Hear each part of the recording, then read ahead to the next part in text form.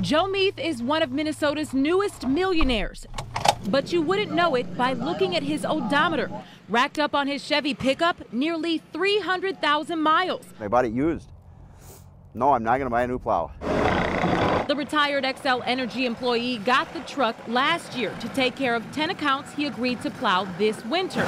Next year might be a different question, but this year I am going to plow. Eight of the accounts Joe plows for free. I put the plow in the truck for my driveway and my neighbor's because her husband passed away.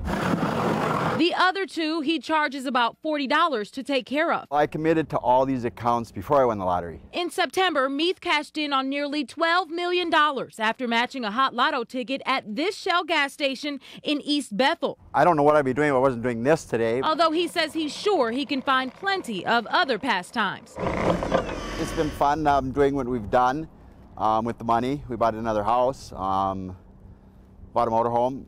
Um, besides that, it's been uh, a little difficult with trying to figure out what to do with the money. Joe and his wife Rhonda have, however, gotten loads of requests for loot. Nobody in the families really came forward and asked for anything. The requests pile in from some you instead wouldn't expect. I had one person send me an arrest record that needs $75,000 for bail because he was wrongful, wrongfully arrested. Plowing the East Bethel Shells lot, the very place where his life changed for the better. We think about, you know, to make sure there's enough for our kids and grandkids down the line.